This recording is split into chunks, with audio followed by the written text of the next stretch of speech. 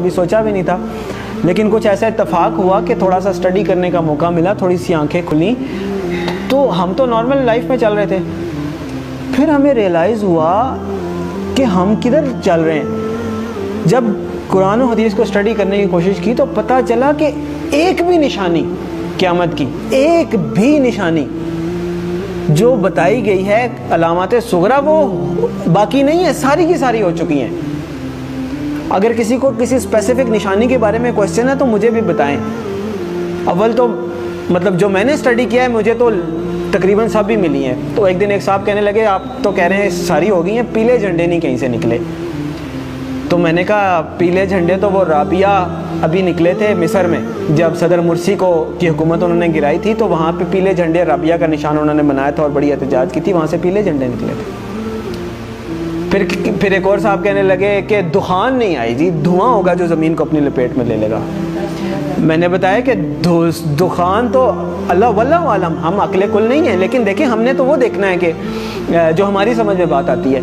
आज से सात आठ साल पहले हम भी इसी पंजाब में रहते हैं, इसी दुनिया में रहते हैं। धुंध ज़रूर होती थी, धुआँ भी होता था। धुंध, धुआँ, स्मॉग नहीं होता था। कि वो पूरे लपेट में ले लेता है। धुआँ तो ऐसे होता है ना, दूर से नज़र आए। दुखान ऐसा है कि यक्षन ना सुकरान में अल्लाह ने फरमाया यौमता भी दुखान मुबीन यक्षन ना सुहाजा आजाब वो भी हो गया। फिर क्या रह गया? फिर उन्होंने कहा, अरबों में शिरक आ जाएगा, वो तो नहीं आया। तो मैंने कहा, मैं भी सोचता था, नहीं आया, बल्कि जब मैं ये हदीस पढ़ा था तो मेरे जहन में ये था कि पता नहीं, अरबों में शिरक पता नहीं कब आएगा। सबसे ज़्यादा कुरान हदीस वहाँ पढ़ा जाता है।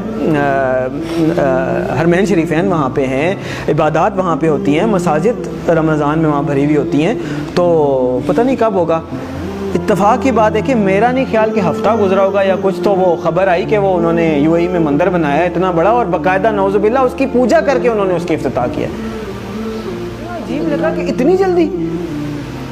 इतनी जल्दी कि जब आप हदीस पढ़ते हैं तो आपको लगता है कि अरबों में शिरक लौट आएगा? पता नहीं, ये तो बहुत ही मुश्किल बात लगती है। और हमने मतलब एक होता है सालों गुजर जाए, फिर भी बात है, वो उधर पड़ा उधर वो बात होगी। तो एक भी निशानी मुझे नहीं मिली। अगर किसी साहब को मिली है तो मुझे भी बताएँ। इसका मतलब है, अलामत सुगरा सारी पूरी हो गई हैं। अब अलामत कुबरा का वक्त है। पहली अलामत कुबरा में से पहली क्या है? इमाम महदी का जहूर पहली अलामत कुबरा में से पहली बड़ी निशानी है। दूसरी है दजाल का जहूर। तीसरी है हज़रत ईसीम का हाँ हज़रत ईसीम का आसमान से आना वापस। चौथी है याजूज माजूज।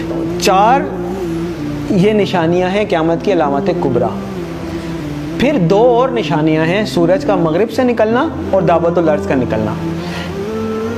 कैटेगराइजेशन ये हदीस में नहीं है कि चार निशानियाँ या पाँच हैं। वैसे बताया गया है, इसको फिर उलमा ने अपने हिसाब से, जैसे मैंने पहले आपको बताई, दुखान हो गया या मुख्तलिफ़ राबिया हो गए पहली पीले झंडे हो गए, ये वो इनको अलामत सुगरा कहा गया है, छोटी निशानियाँ, और ये जो अभी मैंने चार आपको गिनवाई है ना, अलामत कुबरा के तौर पर कैटेगराइज किया गया है।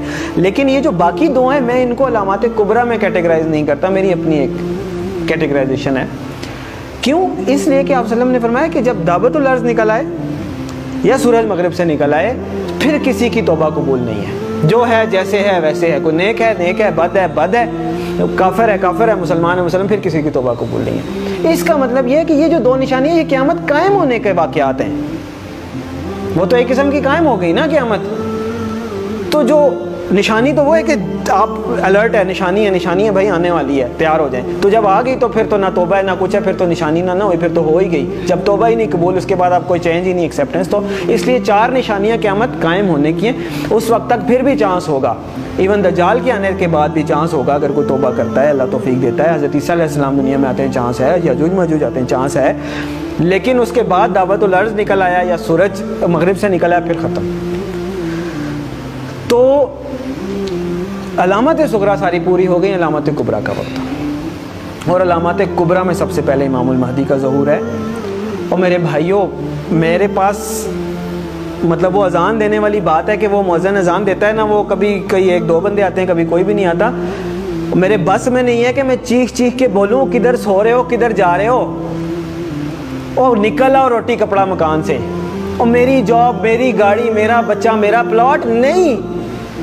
और पता नहीं क्यामत में मैंने आप लोगों को हदीस सुनाई है, आँखें खोलें। और पता नहीं क्यामत में कितने साल रह गए शायद हम पता नहीं अगली जनरेशन आए भी कि ना आए।